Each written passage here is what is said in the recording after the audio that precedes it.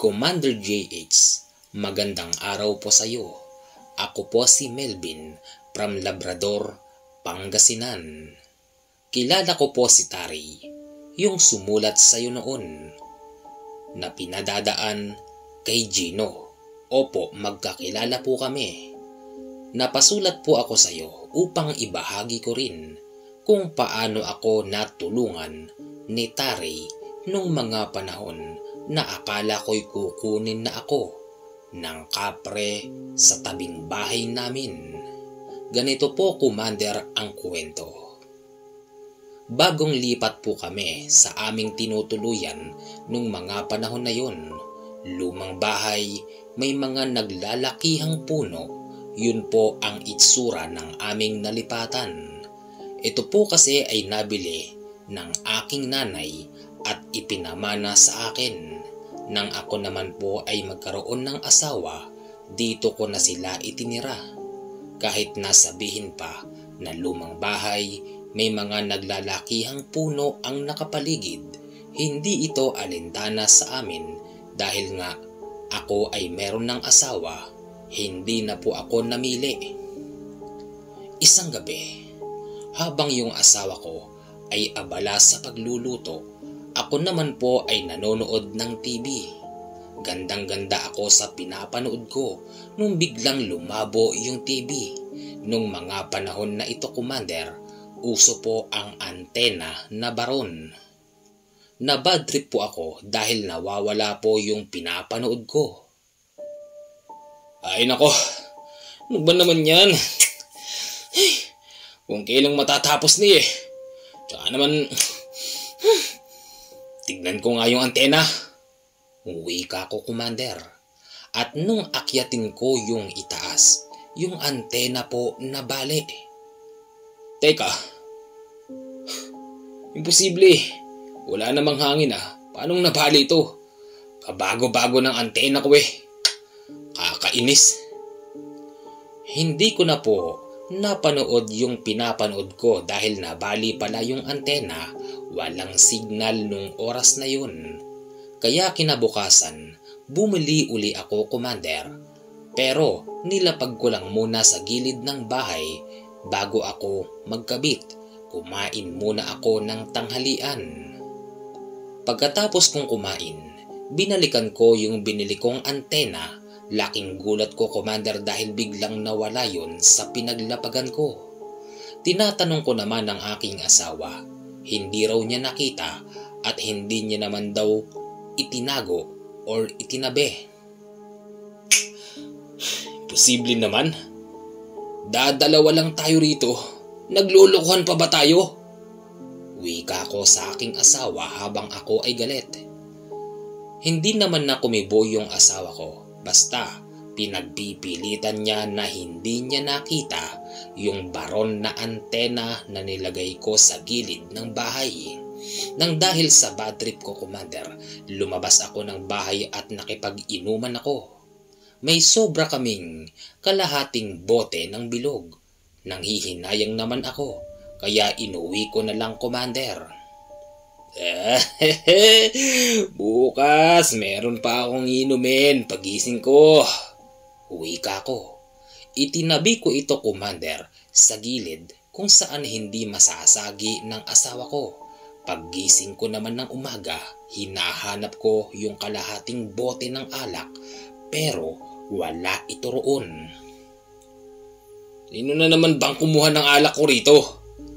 No ba? Naglulukuhan na lang yata tayo eh. Ma, nasan ba yung alak ko rito?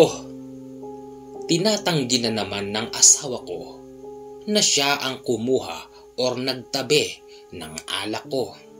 Hanggang sa araw-araw na lang, Commander. Lagi po akong nawawalan ng gamit na tinatabi ko.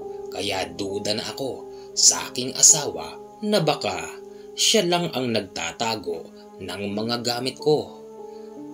Sinubukan ko isang beses. Itinabi ko po yung isang importante sa akin. Tapos hindi ako natulog.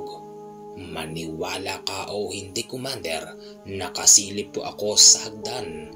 Kitang kita ko po Mula sa pintuan ay merong tumagos na isang maitim na lalaki. Ano yun? Gulat na sabi ko sa aking sarili.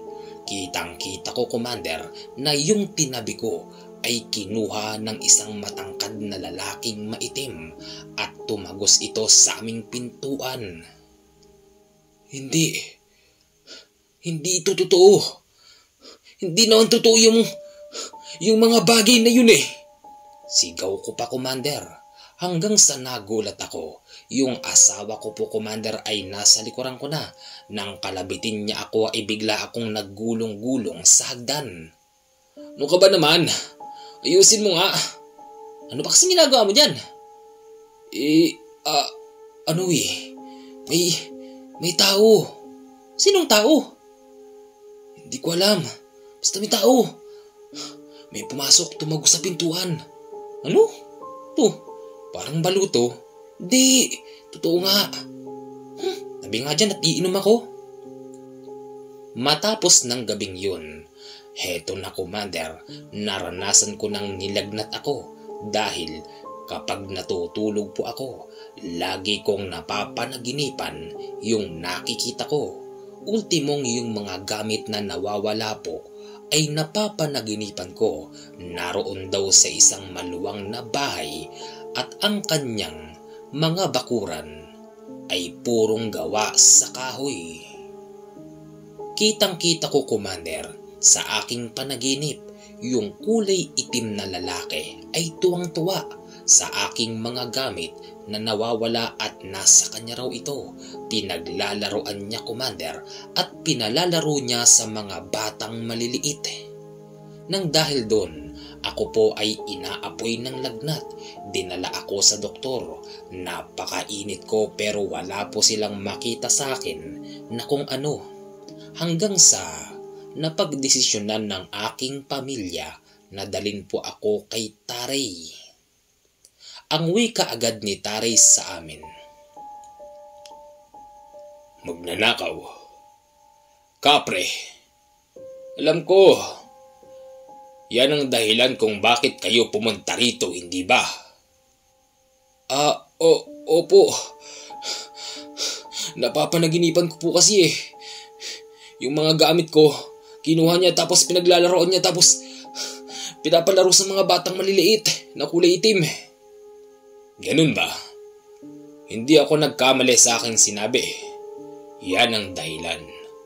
Alam mo, simple lang yan eh. Kayang-kaya ko yan. Diyan ka lang.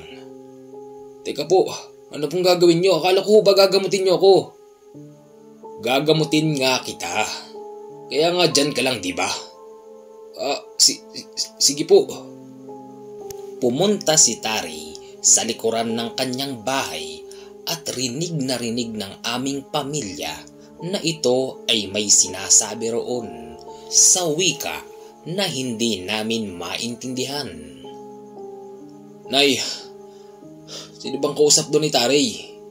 Tanong ko sa nanay ko. Haba mali ko, hindi ko alam. Antayin mo na lang kasi. Uh, opo, sige po. Pagpasok ni Tari, ganito po ang sinabi. Melvin, ang sabi sa akin ng aking gabay, yung nakatirang kapre sa bahay nyo, eh mabait naman pala. Ngayon ang problema, kaya pala kinukuha yung mga gamit mo. Ikaw pala pag kumakain ka, eh hindi ka man lang marunong mag-alay. Dapat Melvin, ha? Matuto kang rumespeto sa mga nakatira sa paligid mo.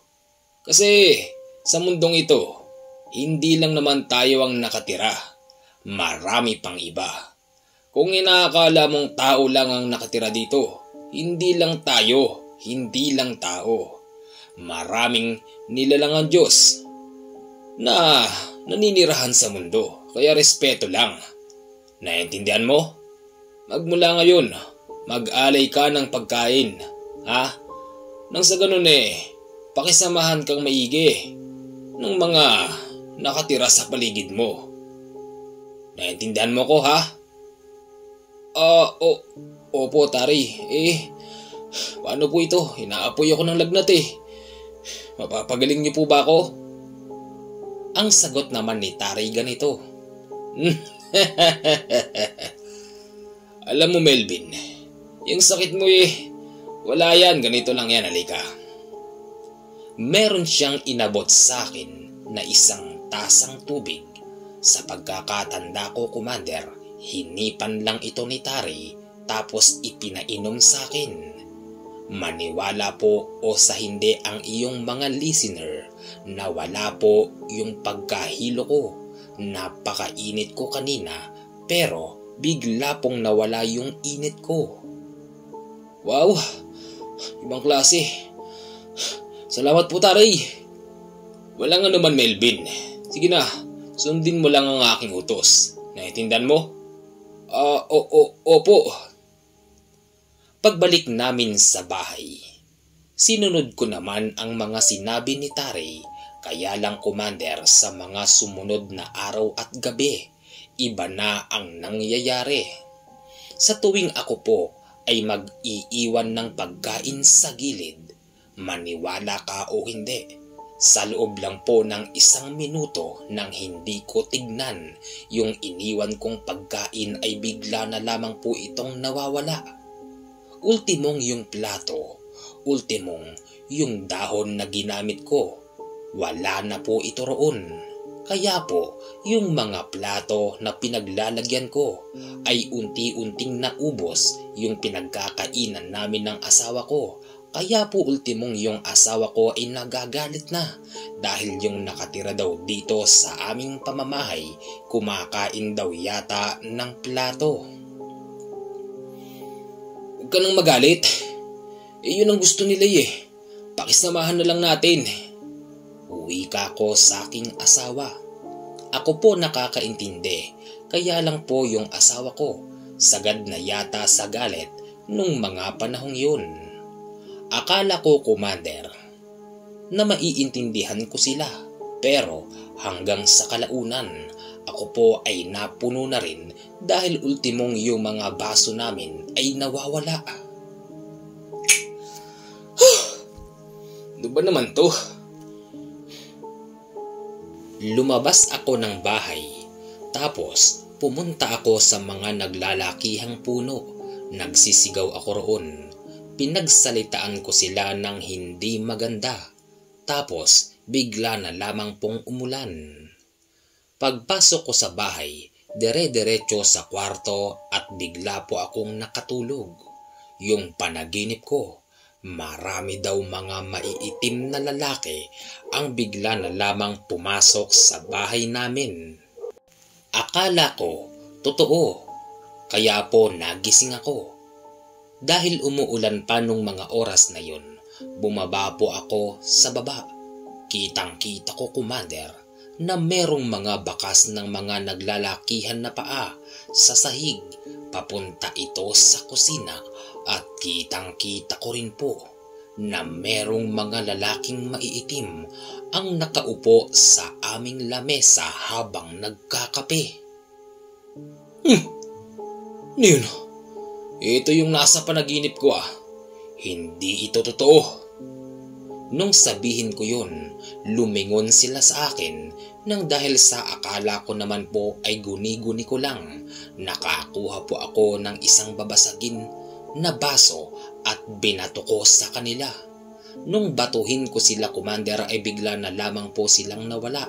Pero kitang kita ko rin commander na yung mga kape na hinihigop nila ay naiwan roon. Ibig sabihin ba Totoo yung mga nakita ko. Yun po ang tumatakbo sa aking isipan nung mga oras na yun. Matapos nun, natulog na uli ako. Paggising ko kinabukasan, hilong-hilo ako commander at umiikot yung paningin ko. Meron akong naririnig na nagsasalita pero hindi ko makita kung sino ba yun, kung asawa ko ba.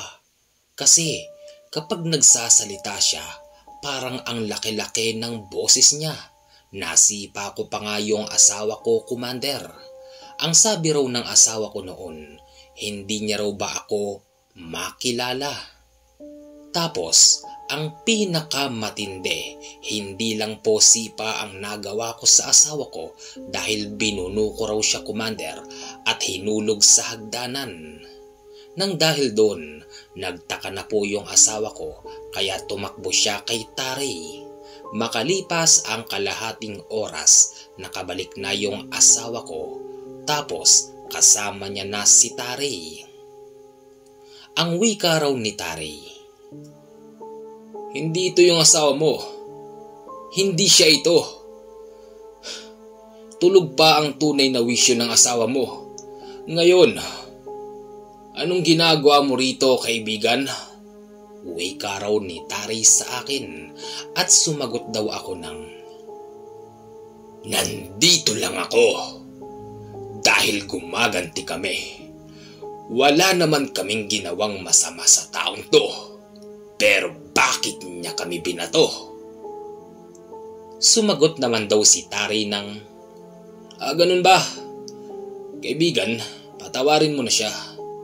Bilang mas nakakatanda sa kanya at kayang makipag-ugnayan sa mga katulad nyo.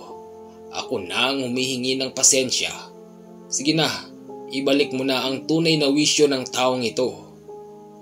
Sa madaling sabi, Commander, nung mga oras na yun, hindi ko po alam ang nangyayari dahil ang wisyo ko po ay tulog. Ang ibig sabihin ng tulog, wala po sa aking katawan. At nung mga oras na yon sa pagkakaalam ko po, ako ay nasa loob ng pamamahay ng kapre. Kitang kita ko sila, Commander, na pinaglalaroan nila ako Hinahatak po nila yung tenga ko, sinasabunutan ako at galit na galit sila sa akin at ang sinasabi pa ng mga yun, ako raw po ay itatapon nila sa kanilang dimensyon nang sa ganon ang aking kaluluwa ay hindi na makabalik pa sa katawan. Meron akong mga naririnig noon na mga salitang hindi ko maintindihan pero alam ko sa sarili ko na boses ni Tare yung naririnig ko. Dumako naman po tayo sa kabila kung saan ginagamot po ako ni Tare nang hindi ko alam ang wika raw ni Tare noon. Huwag mo akong pilitin kasi pag pinilit mo ko, kaibigan, masama akong kaaway. Sa totoo lang, Ayoko nang may kaaway, lalong-lalo na sa mga lahi nyo. Mabait ako. Kaya lang, pag pinilit mo ko, eh, hindi na tayo magkaibigan. Sa tagal ko na, sa usaping espiritual, natutunan ko na kung paano makisama sa mga katulad nyo. Kaya wag mo kong pilitin dahil kaya kitang itapon sa dimensyon nyo. Nagkasubukan pa po si Tari at yung kapre ang ginawa raw ni Taray ay umusal ng mga dasal. Tapos, yung aking katawan ay para daw nanigas at hindi na nakagalaw. Sabi ko sa iyo, di ba? Pabalikin mo na ang wisyo ng taong to. Mabait naman siya eh. Mukhang kayo lang ang lumalaos. Ultimo ba naman baso? Eh, kinukuha nyo pa. Ano, ibabalik mo o hindi o susunugin kita mismo sa harapan ko. Wika raw ni Tarey. Hindi na raw po makakibo yung nakasapi sa katawan ko, Commander. Kaya ang nangyari, ang ginawa ni Tarey ganito. Ayaw mo talaga, sige. Yung kanyang dalawang daliri daw ay nilagay nito sa aking tiyan tapos, nagsisigaw daw po yung nakasapi sa aking katawan. Maniwala ka o hindi, Commander, rinig na rinig ko po yung napakalakas na sigaw dahil ito po ay umi-echo sa aking inuupuan. Ano? Kaya mo pa? Sabi ko naman sa'yo, di ba? Masama akong kaaway. Pero, pag ako naging kaibigan mo, hindi mo pagsisihan dahil mabait ako. Ibabalik ko na siya. Ibabalik ko na. Basta ipangako mo lang sa akin, kaibigan, na magiging mabait din siya. Sigaw naman daw ng kapre na nakasapi. Hindi nagtagal, Commander. Nakita ko na lang po ang aking sarili na nakahiga at hindi makagalaw habang si Tari ay nakatayo sa aking harapan at ang aking asawa. Ah! Ta Tari, ano pong nangyari? Wika ko agad sa kanya. Oh, Melvin, ikaw na ba yan? Sigurado ka ba? Kung hindi, tatapusin na kita. De, biro lang. Liga, buwang ka. Agad akong pinainom ng tubig ni Tari. Yung nararamdaman kong hilo ay wala na. Laking pasasalamat ko po sa manggagamot dahil naibalik niya ako. Ikinuwento ko kay Tari yung mga nakita ko ng ako po ay wala sa wisyo. Gulat na gulat si Tari dahil ang sabi niya sa unang pagkakataon sa lahat ng kanyang ginamot ako lang daw ang nakapagkwento nun sa kanya dahil tila ba alam ko ang mga nangyari dahil naririnig ko ang lahat. Sigurado ka dyan, Melvin? Alam mo ang nangyari? Nandun ka sa bahay ng kapre tapos naririnig mo yung nangyayari dito? Totoo ba yan? Ba, ibang klase kaluluwa mo ah. Sa dinami-dami ng ginamot ko. Aba, eh, ikaw pa lang ang nakapagkwento niyan. Uh, opo, taray. Totoo po yun, hindi ko kayo binibiro. Kung ganun, meron kang tinatago, Melvin, na ikaw lang din ang makakadiskubre. Aralin mo yan maigi, ha? O siya, sige. Alis na ako.